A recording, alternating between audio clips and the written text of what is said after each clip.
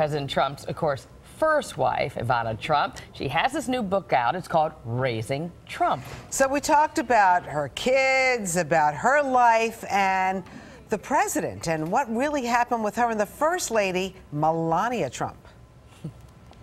I was first Trump lady. First Trump lady, Yeah. not the first And- lady of the no, United no. States. Because and she jumped on it.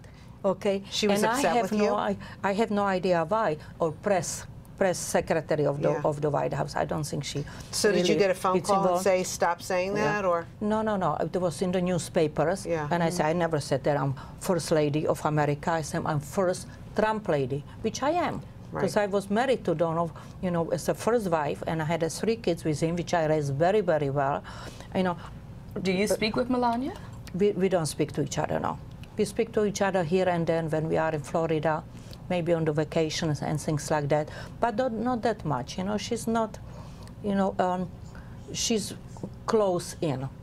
You know, she's not chatty like me. Yeah, you would have, I think, run the White House a little differently, right? if you were in that position, Definitely. definitely, yeah. What would have been an Ivana White House? Uh, well, I would, I would support a lot of charities. I, I would support, of course, my, my, my ex. I would give the speeches. You know, I would entertain. It's not really happening that much. You know, Donald is just so busy. You know, to, trying, and he's trying to do what is best for America. You know. Does it bother you to see sometimes the media really on top of Donald Trump, the President of the United States? Yeah, I, I, I really resent it. You know, I did not, I was asked during the book tour to do interview with New York Times.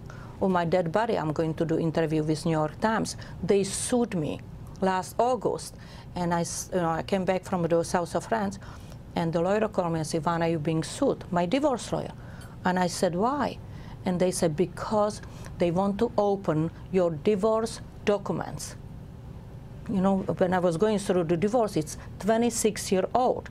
And I said, oh, my dead body, I'm civilian, I'm not running for president of the United States, and I have a, you know, I have a right of the privacy. And I had to go and uh, get a lawyer. It cost three months until the judge said it is not going to be open. So I would never do that. And I'm very pro Donald. I know that he's trying to do his best. He's trying to do what is the best for America. Forget about the France and Italy and all that. He wants to do what is best for us. The jobs, you know, the tax re- those returns, the, the health plan, the immigration. I mean, immigration is most important thing. A lot of You know, people think, you know, that he's not fair with immigration. You come from certain countries and you have a problem getting in. And you're an immigrant, right? I'm immigrant. And You know, I'm immigrant. I think most of us mm-hmm. are immigrants. But what, what is the thing is that if you are immigrant, you have to be here legally, you have to pay taxes, you have to work, and you have to speak a little bit of English.